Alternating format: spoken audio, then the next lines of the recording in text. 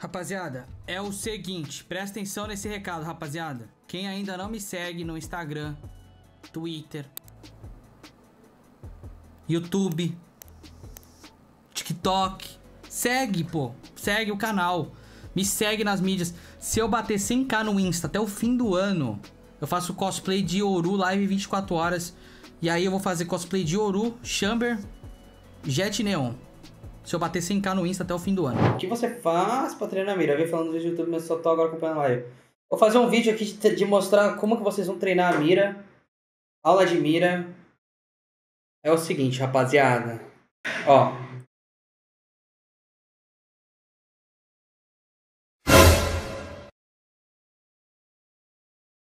Que tipo de jogo é esse? Tô jogando Resident Evil.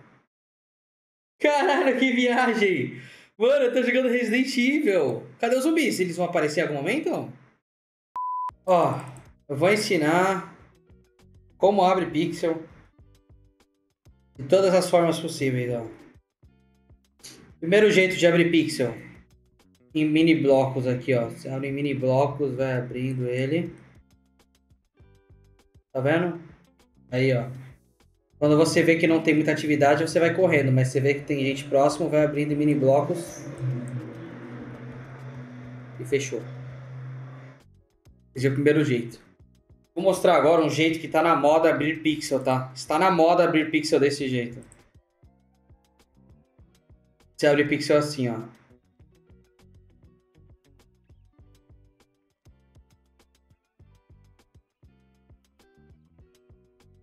Que é o jeito. É o wide swing, né? É o pop swing. Que a galera tá falando aí. Você abre bem wide. Mas você tem que abrir um pouco distante, mano. Não pode ser tão, tão grudado. Pra ele funcionar.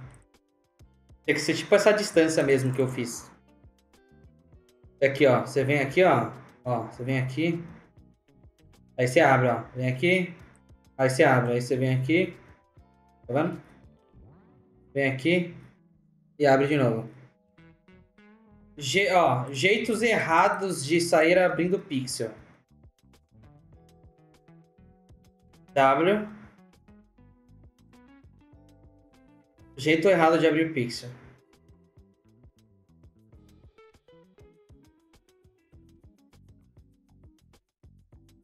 Errado. É. Quantas vezes eu apertei o A e o D? Nenhuma. Só pra. Eu tinha que mudar uma direção. Quando você vai abrir pixel, tem que realmente abrir no AD, mano. Então é assim, ó. Ó. Vem aqui e tal. Olha eu abrindo em mini blocos, tá vendo ali, ó? Ó.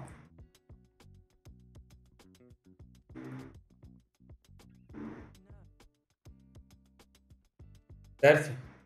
Esse jeito correto. Existem outros jeitos de abrir pixel, é, mas o mais comum que eu recomendo você abrir é você replicar essa maneira que eu vou mostrar para vocês. Isso vai funcionar em qualquer elo, tá? Você abrir pixel dessa forma aqui. Isso vai funcionar em qualquer elo. Esse aqui, ó. Esse que eu tô abrindo aqui para vocês, ó.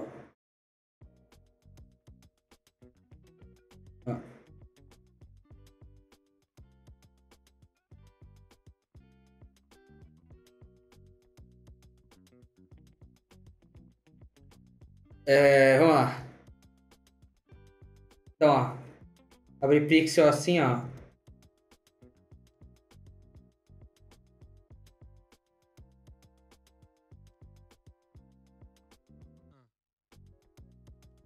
Tá vendo?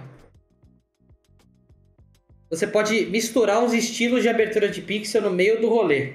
Então, ó, muito perto da parede, por exemplo. Ó, vou ensinar um bagulho pra vocês que isso ninguém ensina em lugar nenhum. Muito perto da parede, por exemplo, não se abre pixel assim, ó. Quando você tá muito perto da parede, você abre pixel assim, ó. Não é nem wide, não é nem tipo pop swing. É literalmente super firme e reto, tá ligado, ó? Muito colado na parede, você tem que abrir diferente o pixel. Nossa, eu não vi você aí. Então, por exemplo, você tá colado, não abre colado tipo no Alckmin. Você abre colado e, tipo, uma diferença maior. O negócio é o seguinte, quando você tá longe, abrir em mini blocos é bom. Abrir dessa forma que eu tô abrindo, longe é bom, ó. Tá vendo como eu tô abrindo, ó? Tá vendo, ó? Não tá vendo? Aí quando eu... Ó, peraí. Vamos supor que eu tô colado nessa parede, você não abre no walk assim, você abre assim, ó. Tipo, abre mais. Você, você viu um teclado aí, é só você replicar, né? Replica. No caso, né? Então, papo reto. Coisa importante, falando sério. Como então vamos voltar só para você não esquecer o mais importante. Quando você for abrir Pixel, vamos adotar como regra isso. Quando você estiver muito colado, olha, olha o teclado à esquerda embaixo. Você vai abrir firme assim, tipo firme assim, tá vendo? Ó colado na parede, abre mais grande. Tipo, não precisa sair correndo abrindo também, mas abre uma, ó, uma amplitude maior, ó, tá vendo? Uma amplitude maior. Não vai abrir assim, ó. Coladinho na parede do Alck. Eu não aperto o Alck para abrir. Eu, eu abro com, com um pouco mais de firmeza. Certo? É, a distância, vamos separar a abertura de pixel então em mini blocos. Você vai abrir em mini blocos. Isso aí já vai mudar seu jogo de hoje para amanhã. Você fazendo isso, você vai mudar a gameplay hoje. Certo? Ó, então ó, um pouco mais distante você vai abrir assim, tá vendo, ó?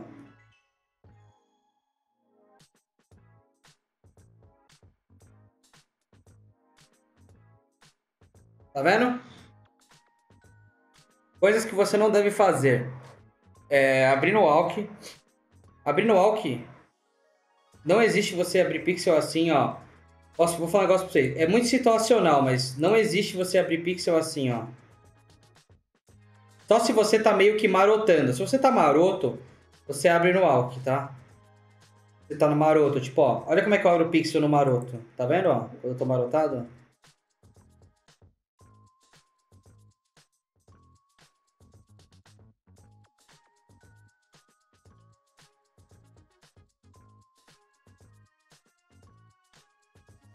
Walk é no shift.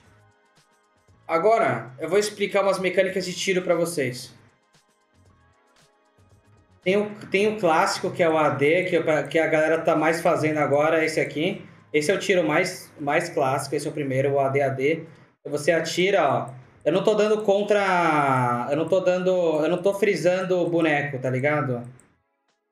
Eu só tô dando AD, AD, AD, AD. Beleza? Esse é um dos tipos de tiro. Esse é o AD, AD. Se quiser aprender como faz, vai no slow motion 025, rever o clipe, ou rever o YouTube, vídeo do YouTube e ver como é que faz e replica. É, outro estilo de tiro que a galera faz muito, atira e agacha.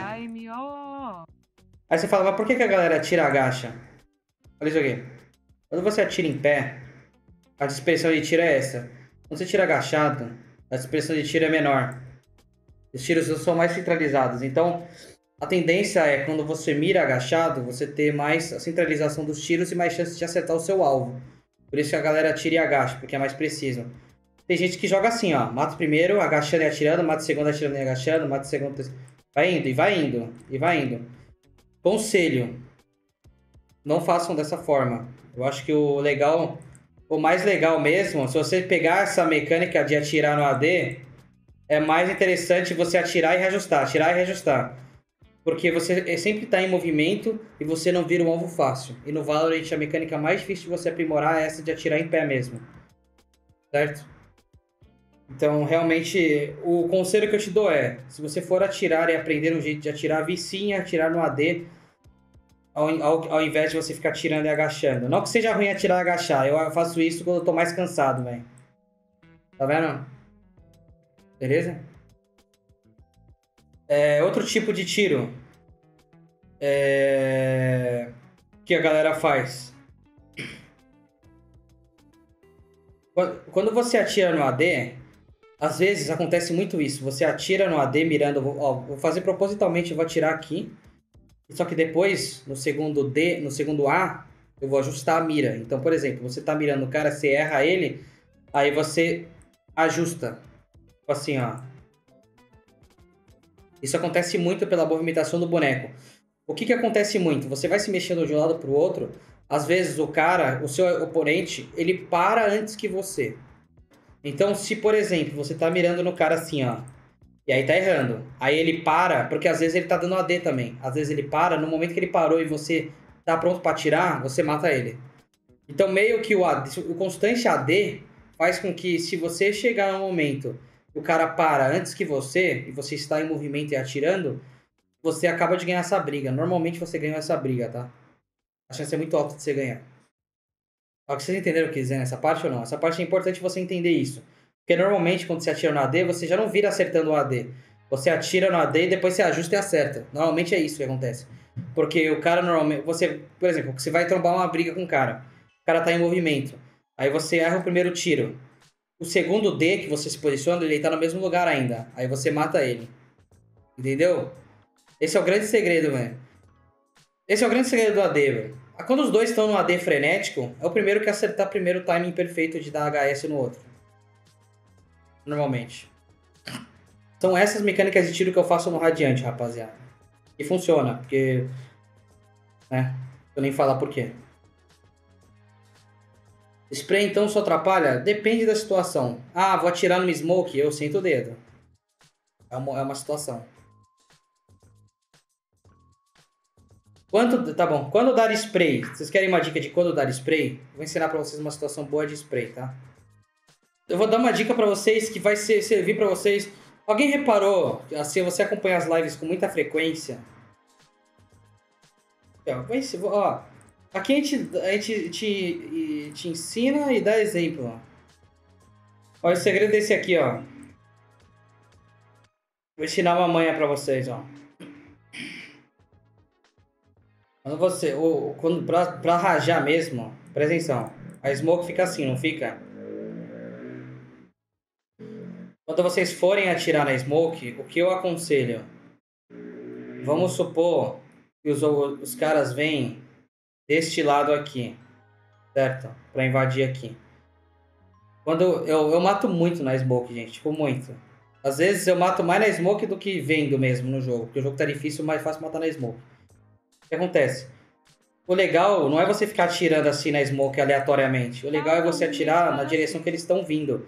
Então, por exemplo, os caras vão vir provavelmente da esquerda. Se você, se o cara acabou, se acabou de cair smoke, o que que acontece quando acaba de cair smoke? Qual é o primeiro pensamento que o cara tem? O cara faz isso aqui, a smoke abriu, o cara faz isso aqui, ó. Não faz? Eu sei que todo mundo faz isso. Ah, só que a fofo, valeu pelos oito meses. Tamo junto, velho. O que, que você faz? Quando a smoke acabou de abrir, senta o dedo aqui nessa região aqui, ó. Se você entendeu esse conceito que eu te expliquei agora, você vai começar a matar na smoke. Dica número 2 de matar na smoke e rajar, sentar rajado. Porque a aula aqui é te ensina a, a spamar na smoke. Você spamar aqui na smoke, né? Quando eu spamo na smoke, eu spamo as duas extremidades sempre, velho. Eu spamo essa extremidade e essa extremidade, ó. Então, o que, que eu faço às vezes no mapa? Quando tá todo... O céu tá esmocado pra mim. Por exemplo, ó, eu tô sem visão. Isso acontece muito. Tô sem visão, mas eu vou, vou pingar as duas extremidades e vou varar, ó. Tá vendo? Eu faço muito isso. Entenderam essa dica ou não? Esse é o momento que eu dou spray, mano. Porque aí eu tô. E aí eu atiro e agacho, pra ter mais precisão. Pra não dispersar muito. Entendeu ou não? Essa dica é muito importante, mano. Pode parecer boba, mas eu mato muito no Radiante. Mas muito no Radiante. Mano, é uma coleção. Todo dia. No, todo mapa tem Kill Smoke. Todo, todo mapa. Posso abrir qualquer mapa aqui que eu vou ter Kill Smoke.